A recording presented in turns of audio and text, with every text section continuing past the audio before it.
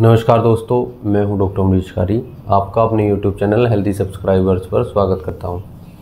आज की इस वीडियो में हम बात करेंगे एक पेटेंट मेडिसिन के बारे में, जिसे एडल फार्मा कंपनी बनाती है। एडल फोर्टीन के नाम से आपको मार्केट से आसानी से मिल जाती है। इस वीडियो में हम जानेंगे कि ये दवाई कहाँ यूज़ की जाती है और किन सिम्टम्स किन बीमारियों में पेशेंट को दी जाती है। जानने के लिए वीडियो पूरा देखें। अगर आप हमारे चैनल पर नए हैं तो चैनल को सब्सक्राइब कर लें ताकि आने वाली हेल्थ रिलेटेड वीडियो से आप अपडेटेड रहें। तो आयरन डेफिशिएंसी ड्रॉप के नाम से एडल फोर्टीन आती है। एनीमिया के केस में पेशेंट को ये दी जाती है, जिन लोगों का एचबी यानी हीमोग्लोबिन कम हो जाता है, उसको बढ़ाने के लिए ये दवाई बहुत इफ़ेक्टिव रहती है। साथ ही दोस्तों, ये दवाई जिस कारण से आयरन डेफिशिएंसी हुई है, उसको भी रिकवर करता है। पुअर न्यूट्रिशन और एक्सेस ब्लीडिंग होने पर पेशेंट को खासतौर पर एनीमिया देखने को मिलता है या कुछ डिज़ीज़ होती हैं जिनके कारण पेशेंट को एनीमिया हो जाता है।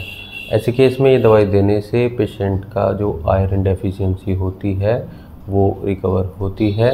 दोस्तों एनीमिया में जो हमारी रेड ब्लड सेल्स होती हैं, यानी आर होती हैं, वो कम होने लग जाती हैं। ऐसे केस में पेशेंट को आयरन डेफिशिएंसी भी एक कारण हो सकता है, या फिर सीवियर ब्लड लॉस भी एक कारण हो सकता है। डीजनरेटिव डाइसफंक्शन भी इसका एक कारण हो सकता है, अगर ब्लड स्ट्रीम में टॉक्सिन चले गए हों या क्रोनिक इन्फेक्शन हो तो ऐसी कंडीशन बनती है।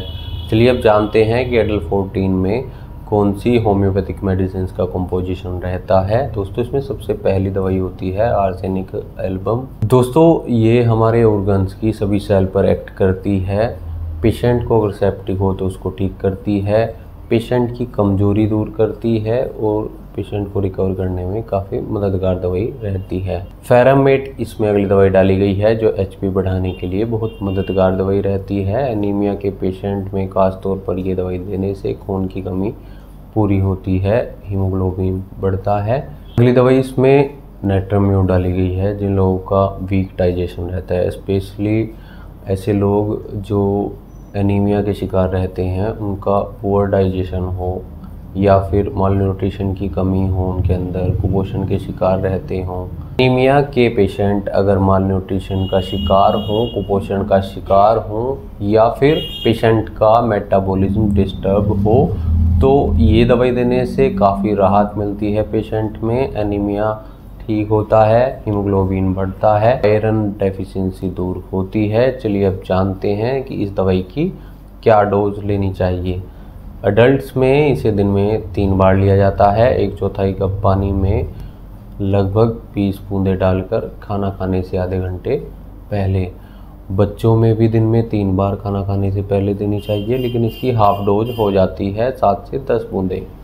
दोस्तों, अगर आप किसी बीमारी से पीड़ित हैं और आप इसका होम्योपैथिक ट्रीटमेंट चाहते हैं या कोई सलाह लेना चाहते हैं तो दिए गए व्हाट्सएप नंबर पर हमसे संपर्क कर, इलाज या सलाह ले सकते हैं।